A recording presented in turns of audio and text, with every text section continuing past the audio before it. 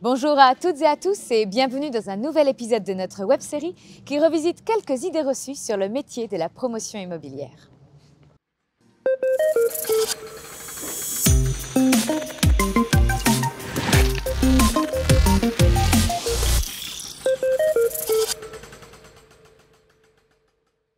Nous sommes aujourd'hui avec Stéphane. Bonjour Stéphane. Bonjour Fleur.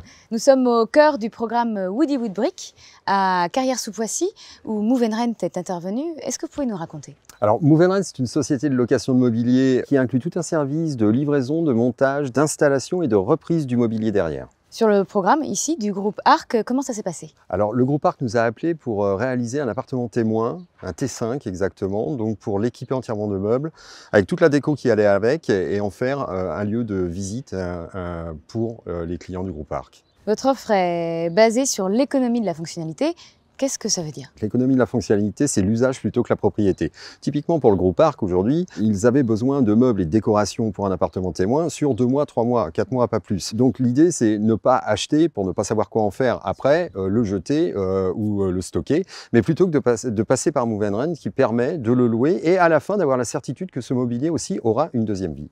Et comment ça se passe du coup à la fin de ces quelques mois de location? Que deviennent les meubles? Systématiquement, on reprend le mobilier euh, derrière pour lui donner une deuxième vie. Alors là, Typiquement sur ce T5 avec le groupe Arc, c'est une demi-tonne de mobilier qui a été remis en circulation à 30 km autour du, euh, euh, du programme. J'imagine que c'est important pour vous de travailler avec des professionnels de l'immobilier qui partagent les mêmes valeurs. Oui, c'est très important.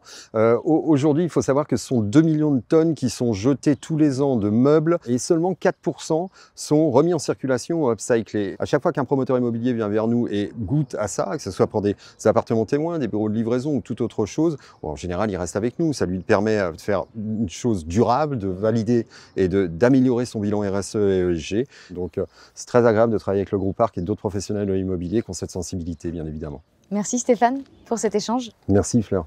Quant à moi, je vous donne rendez-vous très bientôt pour un nouvel épisode et en attendant, restez connectés.